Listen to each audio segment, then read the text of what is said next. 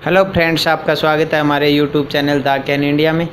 दोस्तों, आज हम गवर्नमेंट जॉब लेके आए हैं और राजस्थान के अंदर कलर की भर्ती है, उसके बारे में है। उससे पहले बता देते हैं, जिन दोस्तों ने हमारे चैनल को सब्सक्राइब नहीं किया है, वो सब्सक्राइब कर लें और बेल आइकॉन पर क्लिक कर लें, जिससे हमारी नई वीडियो के नोटिफिकेशन आपको सबसे पहले मिलते रहें। हम और भी नई नई गवर्नमेंट जॉब की जानकारी आती है तो वीडियो अपलोड करते हैं हमारे चैनल पर तो दोस्तों, आज जो जानकारी है वो राजस्थान के अंदर पंद्रह हज़ार चार सौ तिहत्तर एल डी सी कलर की भर्ती है, ऑनलाइन फार्म भरे जाने हैं, उसके बारे में है। उसकी जो क्या क्या वैकेंसीज़ है, उसकी पूरी जानकारी देंगे। मैं बता देता हूँ कि इस वीडियो के अंदर है, जो जानकारी वो क्या क्या है, इसके अंदर कलर भर्ती की पूर्ण जानकारी है, एग्ज़ाम पेपर, सिलेबस की पूर्ण जानकारी आवेदन कैसे करें, इसके बारे में जानकारी है, फ़ोटो साइन कैसे साइज़ के में अपलोड करें, उसके बारे में, परीक्षा माह दिनांक, रोल नंबर, उसके बारे में। और जो भर्ती के एजुकेशन, एज लिमिट और इसके बारे में पूर्ण जानकारी दी है तो पूरी वीडियो को आप ध्यान से देखें, तभी आपको है जो इस भर्ती के बारे में समझ आएगा। राजस्थान अधीनस्थ एवं मंत्रालय सेवा चयन बोर्ड, जयपुर। इन्होंने एक विज्ञापन संख्या सात वटा दो हज़ार अठारह का नोटिफिकेशन अपलोड किया है। इसमें जो अलग अलग पोस्टें दी गई है, उसके बारे में आपको इस वीडियो के अंदर बता देता हूँ कि राजस्थान की जो रिक्रूटमेंट 2018 है, उसके अंदर ऑनलाइन फार्म भरे जाने हैं। और जो इसकी पोस्टें हैं वो पंद्रह हज़ार चार सौ तिहत्तर lower division clerk junior assistant और अन्य पोस्टें हैं। यानी टोटल पोस्ट पंद्रह हज़ार चार सौ तिहत्तर है। ये तीन चरणों में जूनियर इंजीनियर असिस्टेंट की और एलडीसी क्लर्क की। तो जो नेम ऑफ़ द पोस्ट है, वो है रास्ता के अंदर LDC clerk junior assistant clerk की वैकेंसी ऑनलाइन भर्ती। और इसकी जो पोस्ट है वो नोटिफिकेशन है, जो हमारे पास आया है वो सत्रह चार दो हज़ार अठारह को आया है। और जैसे ही हमें नोटिफिकेशन मिलता है, हम अपनी वीडियो है वो ज़रूर बना के आपके सामने अपलोड करते हैं। तो हमारे चैनल की जो वीडियो है, उनको लाइक और शेयर करें। तो दोस्तों, अभी इसकी जो टोटल वैकेंसी है, वो है ग्यारह हज़ार दो सौ पचपन पोस्ट अभी हम इस भर्ती की पूर्ण जानकारी आपको बताएँगे कि इसके अंदर क्या क्या क्वालिफ़िकेशन है एज लिमिट सारी जानकारी। तो अभी इसकी वैकेंसी के ऊपर बता देता हूँ आपको कि कौन कौन सी वैकेंसी कितनी कितनी दी हुई है। तो यहाँ पे ये जो Rajasthan superintendent and ministerial service selection board है R S M S S B का, उन्होंने नोटिफिकेशन जारी किया है रिक्रूटमेंट का, जिसमें लोअर डिविजनल कलरक की असिस्टेंट की और कलरक ग्रेड सेकंड की वैकेंसी दी हुई है। और जो कैंडिडेट है, जो अप्लाई करना चाहते हैं वो अपनी जो एजुकेशन क्वालिफिकेशन है नोटिफिकेशन को ध्यानपूर्वक पढ़ ले और अप्लाई कैसे करें, ये सारी डिटेल हम अपने वीडियो में बताएँगे। तो दोस्तों, अभी बताते हैं आपको जो कलर की राजस्थान के अंदर वैकेंसी निकली हुई है 2018 उसके बारे में। तो इसकी है वैकेंसी की डिटेल्स वैकेंसी की डिटेल फ़र्स्ट है clerk second grade in government trade इसके अंदर तीन सौ उनतीस पोस्ट दी हुई है। जो कलर की सेकंड ग्रेड की भर्ती है, ये अलग अलग जो दे रखी है। जो नेक्स्ट है सेकंड ग्रेड कलर की भर्ती वो है आरपीएससी के अंदर। राजस्थान पब्लिक सर्विस कमीशन के अंदर। इसके अंदर नौ पोस्ट दी हुई है। और जो LDC clerk junior assistant department office under state government जो राजस्थान सरकारी गवर्नमेंट है, उसके अंडर है ये भर्ती। इसमें है दस हज़ार नौ सौ सत्रह पोस्ट ये तो थी तीनों डिटेल्स अलग अलग कौन सी पोस्ट कौन से डिपार्टमेंट की है और कितनी कितनी पोस्ट आए। तो जो ये की, जो राजस्थान गवर्नमेंट के अंडर है, इसमें ज़्यादा पोस्टें हैं, दस हज़ार नौ सौ सत्रह है आर के अंदर नौ है।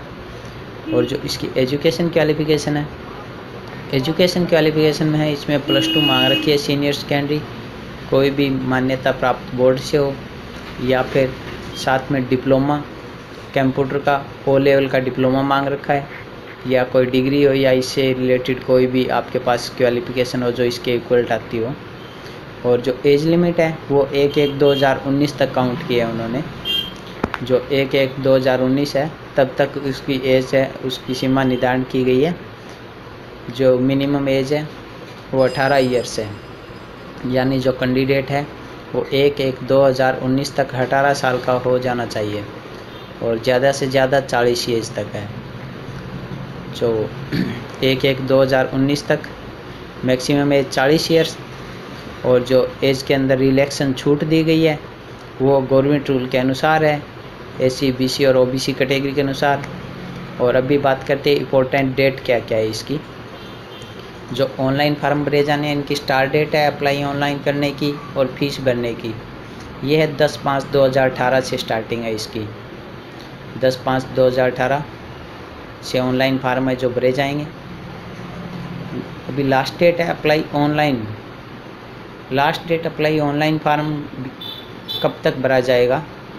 वो है इसकी आठ छः आठ जून दो हज़ार अठारह तक आप इसको ऑनलाइन अप्लाई कर सकते हैं। लास्ट डेट पेमेंट और फ़ीस की जो है वो सेम ही रहेगी। लास्ट डेट है इसकी जो और अगर आप पूरी डिटेल जानना चाहते हैं तो रिक्रूटमेंट का जो नोटिफिकेशन है, उसको आप चेक कर सकते हैं। उसके अंदर पूर्ण जानकारी दी गई है। अभी जो क्लोजिंग डेट है पेमेंट और एप्लीकेशन फॉर्म की, वो है आठ छः दो हज़ार अठारह। और फार्म भरने की भी आठ छः दो हज़ार अठारह। और जो इसका एग्ज़ामिनेशन होना है डेट ऑफ़ एग्ज़ामिनेशन की बात करते हैं तो जो इसका एग्ज़ामिनेशन है, वो सितंबर में होना है। सितंबर 2018 के अंदर इसका एग्ज़ामिनेशन स्टार्ट हो जाएगा दोस्तों। जो भी रिक्रूटमेंट नोटिफिकेशन के अनुसार आप फार्म भरने से पहले रिक्रूटमेंट का नोटिफिकेशन ध्यानपूर्वक ज़रूर पढ़ें। कई बार ऐसा होता है, आप उसके लाइक नहीं होते फार्म भरने के, कुछ एजुकेशन क्वालिफिकेशन की कंडीशन पूरी नहीं करते और आप अप्लाई कर देते हैं तो दिक्कत आती है रिजेक्ट हो जाता है। तो वो ध्यान से पूरा पढ़ लें। जो एडमिट कार्ड है तो जो सितंबर में पेपर होगा, उससे पंद्रह दिन या दस दिन पहले जो एडमिट कार्ड वो वेबसाइट पे आ जाएँगे। यानी एग्ज़ामिनेशन से पहले दस या पंद्रह दिनों के अंदर अंदर है जो एडमिट कार्ड है वो साइट पे अपलोड कर दिए जाएँगे। अप्लाई ऑनलाइन का जो लिंक है स्टार्ट होना है, वो दस पाँच दो हज़ार अठारह को होगा।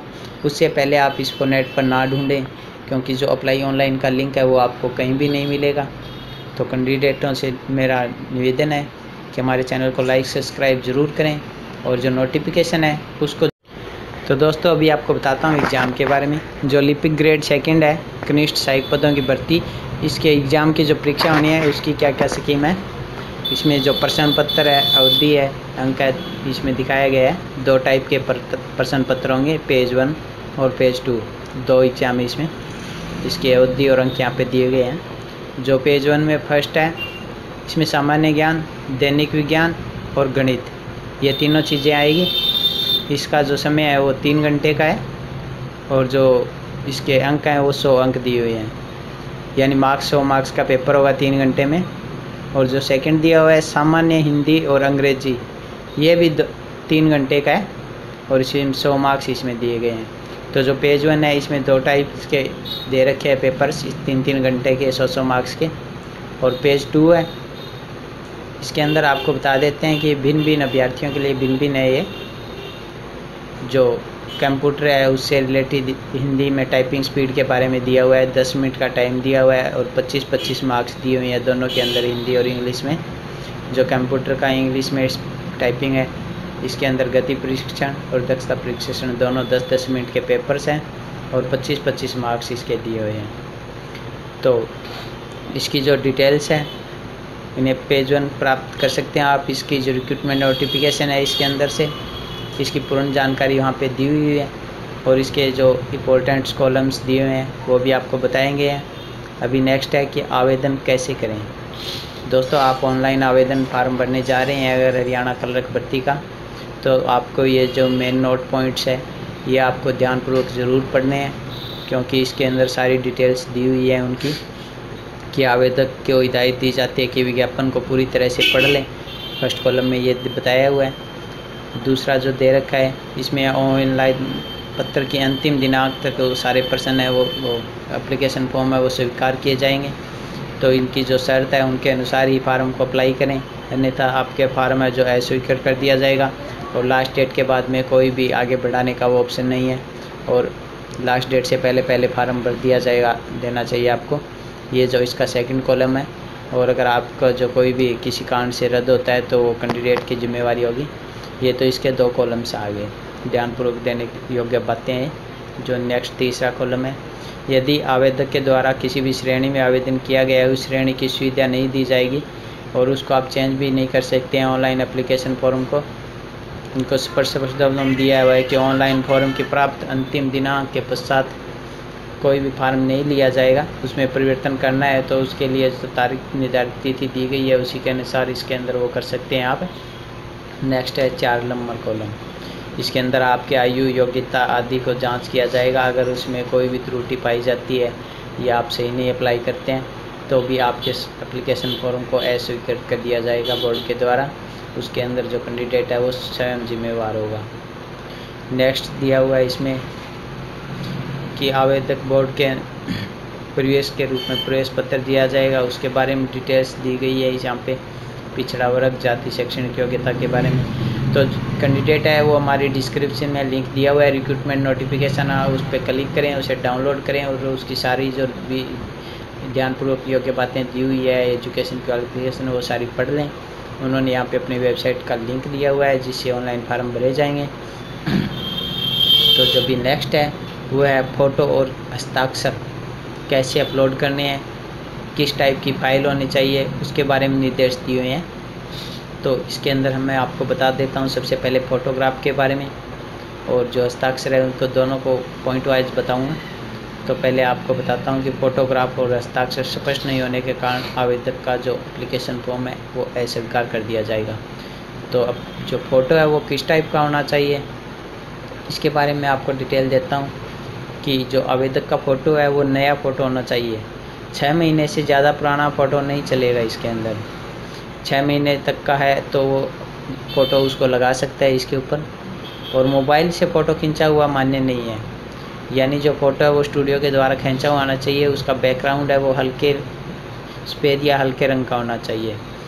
आवेदक का चेहरा पचास प्रतिशत जगह घेरना चाहिए फ़ोटो के अंदर। ऐसे नहीं है, फ़ोटो बड़ी हो और उसका चेहरा वो छोटा सा दिखाया गया हो। सिर के ऊपर कोई भी कैप या उसको ढका हुआ नहीं चाहिए और उसकी जो ग्लासेज है धूप से बचने के काले चश्मा वो भी नहीं होने चाहिए। अगर आप सिंपल चश्मा लगाते हैं, आपको लगी है तो वो हो सकती है इसके अंदर। उसका साइज़ तीन पॉइंट पाँच सेंटीमीटर, चार पॉइंट पाँच सेंटीमीटर होना चाहिए। जेपीजी के अंदर फ़ाइल होनी चाहिए। उसकी जो कम से कम है वो पचास के बी से लेके सौ के बी के बीच की जो फ़ोटो है वो होनी चाहिए। सौ के बी से ज़्यादा उसका आकार नहीं होना चाहिए। और फ़ोटो जो आप एग्ज़ाम हॉल में रोल नंबर के ऊपर जो फ़ोटो आए उसके साथ उसका मैच होना चाहिए। यानी एप्लीकेशन फॉर्म में आप कोई फ़ोटो अपलोड कर रहे हैं और वहाँ पे एग्ज़ाम हॉल में आप कोई फ़ोटो लेके जा रहे हैं। अभी है सिग्नेचर हस्ताक्षर के बारे में बात करते हैं। हस्ताक्षर है सफ़ेद ए फोर साइज़ का जो पेपर होता है उसके ऊपर बीच में उसके नीले या बाल पेन पे ब्लैक पेन से आपको साइन करना है। स्पष्ट होना चाहिए और सिग्नेचर है वो बिल्कुल साफ़ होना चाहिए। ऐसा सिग्नेचर होना चाहिए जो आपको एग्जामिनेशन हॉल में करने के लिए बोला जाए तो वहाँ पे भी वो मैच होना चाहिए। कई बार कैंडिडेट अपने सिग्नेचर्स भूल जाते हैं तो उसको दिक्कत आती है। उसको स्वीकृत घोषित किया जाएगा अगर एग्ज़ाम हॉल में उसका साइन मैच नहीं होगा तो। उसका साइज़ दो सौ अस्सी गुना अस्सी से लेके पाँच सौ साठ गुना एक सौ साठ तक होना चाहिए। बीस के बी से पचास के बी के बीच की फ़ाइल होनी चाहिए सिग्नेचर की। और मोबाइल से सिग्नेचर की फ़ोटो खींच के अपलोड करोगे तो आपका फार्म है वो कैंसिल कर दिया जाएगा। तो उसको कंप्यूटर के द्वारा स्कैन करके ही आप उसको जो अपलोड करें। और जो इसकी आंसर की बोर्ड की वेबसाइट पे जाकर आपको बता दिया गया है, जो वेबसाइट दी हुई है, उसके अंदर आप सारी डिटेल चेक कर सकते हैं। अगर आपका फार्म अप्लीकेशन फॉर्म किसी कारण से मिस्टेक हो गई है या गलत भरा गया है तो उसके लिए भी इसमें दिया हुआ है संशोधन के लिए। ऑनलाइन आवेदन में संशोधन कैसे करें, उसकी प्रक्रिया है। आप उसको एप्लीकेशन फॉर्म भरने के सात दिनों के भीतर भीतर उसे तीन सौ रुपये की फ़ीस देकर आप उसके अंदर अपनी जो एडिटिंग है वो कर सकते हैं। कोई भी आपने मिस्टेक की है तो लेकिन अभी तक तो फार्म स्टार्ट नहीं हुए हैं। और जब स्टार्ट होंगे तो हम ऑनलाइन वीडियो बना के आपको अपलोड करेंगे। हमारे चैनल को आप सब्सक्राइब ज़रूर कर लें। और जो जितने भी डिटेल्स नोटिफिकेशन दिया हुआ है वो हिंदी में आप इसको पूर्ण रूप से पढ़ लें। इसमें सारी जो जानकारी दी हुई है वो आपके लिए बहुत ही उपयोगी है। तो दोस्तों, अभी इसकी वेबसाइट के बारे में बता देता हूँ आपको कि जो इसकी ऑफिशियल वेबसाइट है R S M S S B dot Rajasthan dot G O V dot in इस पर आप ऑनलाइन जाके चेक कर सकते हैं। इसका दूरभाष नंबर दिया हुआ है। अगर इक्विपमेंट के बारे में कुछ जानना चाहो तो हमारे चैनल को लाइक व शेयर व ज़रूर करें। हम और भी वीडियो आपके सामने लेके आएँगे। जिन दोस्तों ने सब्सक्राइब नहीं किया, वो सब्सक्राइब कर लें और बेल आइकॉन पर क्लिक कर लें, जिससे हमारी नई वीडियो के नोटिफिकेशन आपको मिलते रहें। अगर आप हमारी चाहते हैं कि फार्म की और वीडियो अपलोड करें तो आप हमें कमेंट के अंदर अपनी डिमांड रखें। हम आपको नई नई वीडियो ला देंगे। हमारी वीडियो को देखने